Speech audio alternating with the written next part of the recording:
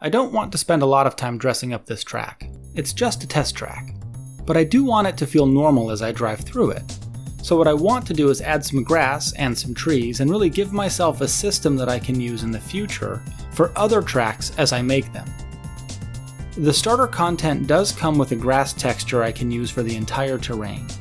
As you can see, it's pretty basic. It's just a green texture that will cover the entire map with something that looks like grass. The details don't need to be that advanced, because the player will be in a car the entire time. I also want to add a grass mesh. To do that, we're going to add a grass layer, and there's a grass texture that does come with the standard assets, so we're going to go ahead and use that. We'll use the Grass Frond 2, set everything to a smaller size and scale, and then we can just start adding grass using the paint texture built into the Unity engine. And as you can see, if I just select this brush and click, it adds grass textures to the map. And what we're going to do is just kind of add grass in any kind of way that I see fit. I want to reduce the height and width and noise spread, all that stuff because it's a driving game. It doesn't require that detailed of an environment. And as I add the grass to the track, you can see that it covers up the track a little bit where I have the track laid.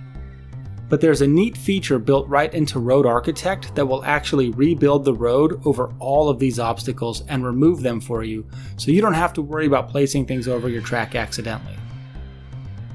I'm just placing the grass as I see fit, and then select the road from the hierarchy window, and choose Update All Roads, and you can see that the road actually removes the grass that was too close to the road. And I feel like that's a pretty terrific setting. It's also going to do the same thing for trees. The starter content comes with two trees, so I feel like this broadleaf tree can go before the hills and then the other tree will go after the hills, and I'm just making some adjustments to the settings here so that way it doesn't overpopulate the track with trees. And again, it doesn't matter if there are trees over the track because I can take those out.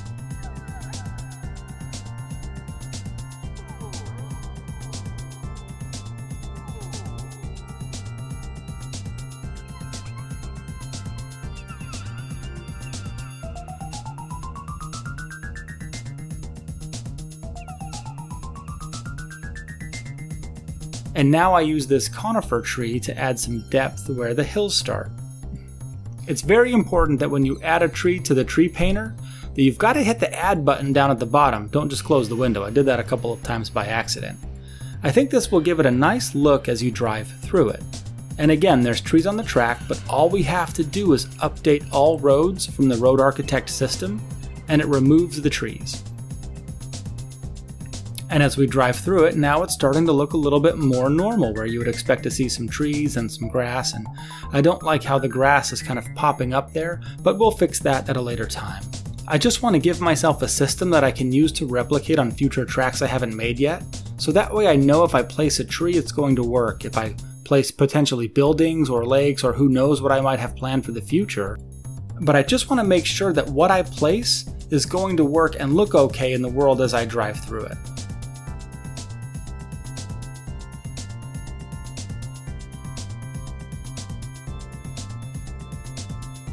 Oh, oh no, hey, those barrels are physics actors. So that's good to know you can drive through them and they respond, and one of them even made it all the way off the bridge. Okay, so now that that's done, what I want to do is go into lighting and add some fog. That way, as the player drives through the level, it doesn't feel like all the assets are popping up on them. I like to drag the lighting window to the viewer rather than leave it open, I want to leave the skybox alone for now. There are some options you can poke through, but what I'm planning on doing is actually downloading a pack of skyboxes just to apply to my scene. What I really want to do is enable fog. There's a few settings once you do enable fog, exponential, squared, linear, or just exponential. I think I want to go with linear, and so that way I can give it a start and an end, and then you can see that it actually gives me a distance of the fog, and there's also a density setting in there too, then that'll give me something to play with. I don't want the fog to start at zero. I'm going to change that to 150 and then make it end at 600 so that way it's more of a distant fog and gives the player the illusion of the distance of the track. Just give it a minute or so for the scene to render up all that fog and we're good. And that's looking okay. Now for a basic level here, I'm fine with that. We'll take all this out, doesn't need to be there. You can also adjust the color settings of the fog. By default, it's a gray color. I don't know if changing this is going to make much difference in the scene that looks a little hazy now. What I want to do now is fix the connection in this road. These two nodes where the figure 8 meets up aren't connecting properly, and it's causing some errors in the game in terms of the collision where the road is supposed to connect. But for some reason it's not detecting that one is a starting node and the other is an end node. So what I want to do first is test the tool. This tool should automatically connect the roads together. What I'm going to do is just make another little sample road off to the side here that's just a circle, and I want to see if I can make a connection happen here. I'm going to add a few nodes and quickly go through and make a circular road. It doesn't have to be fancy, this is just for testing purposes only. All I want to do is connect up two of the nodes on the end and see if it actually works. Something I learned is that you cannot add a node so close to another road It must be similar to the detection built in for grasses and trees and other objects where it eliminates them because it didn't want to add another node. But that's okay because what I can do is just grab one of these and use that as the closing node. And if I drop it onto the other one, it connects up just fine and this is what the figure 8 isn't doing for some reason. And as a perfect seamless connection with no errors, that's interesting. Let's see what happens if we drive on it. So there might be a gap or something funny happening here. I'm really not sure why the figure 8 track isn't responding properly. But the circular track has virtually a perfect road about it. So it goes and there's no seams in the road. It drives like a perfect road. And this is about where the connection might be and there's no seam. Okay, so the circular road does work just fine. So that tells me that the tool is intact and can achieve what my goals are.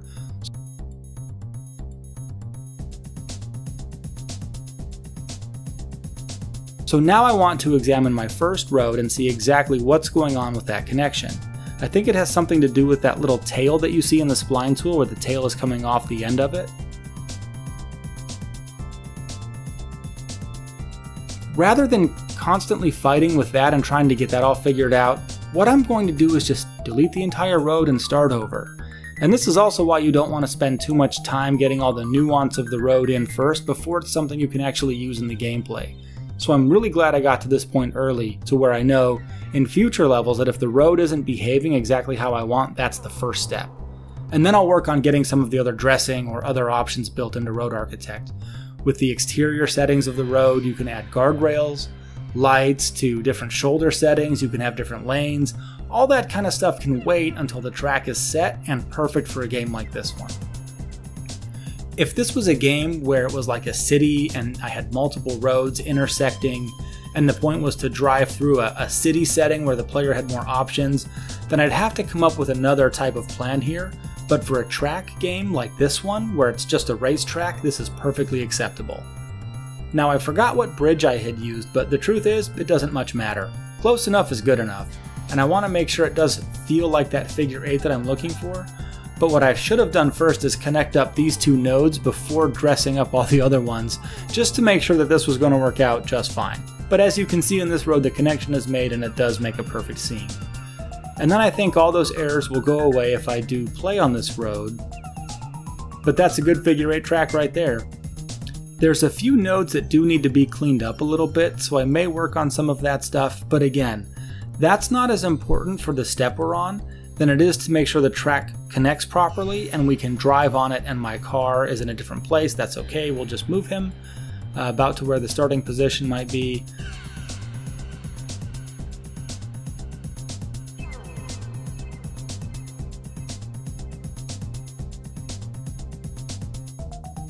I'd like to start right at this underpass. I feel like that's a pretty good place to be. Of course, maybe that's not high enough. Let's see what happens if we drive under it and all those collision errors are cleared nicely.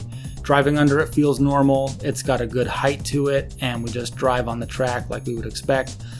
This one works just like it's the same design. So my barrels are gone, but that's okay. I can add them again later if I feel like it.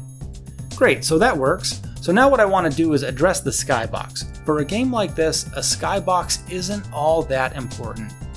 It's still something I want to make sure I can update or change just to give the player a different setting if I feel like it, but really it's not something I want to spend a lot of time on because the player won't even have access to a camera that they can manipulate to look at the sky.